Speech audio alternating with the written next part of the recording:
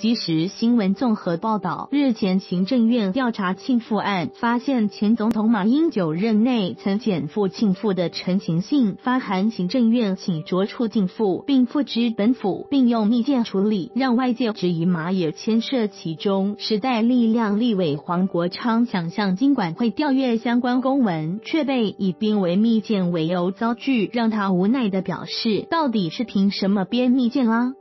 密件真好用，黄国昌表示，他向金管会提出调阅是否曾于一百零四年九月间收受总统府有关列雷舰采购案或寻求银行连带之相关公文，却被金管会以编为密件回文拒绝提供。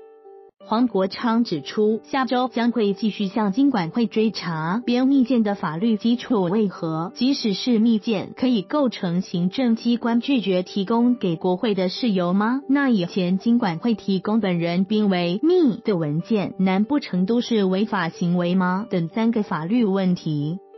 黄国昌说，向金管会询问的三个法律问题，白话来说就是总统府发函给行政院帮忙庆付桥贷款，到底是凭什么编密件啦？难道以前马政府乱搞，现在就不用改正这种离谱的错误吗？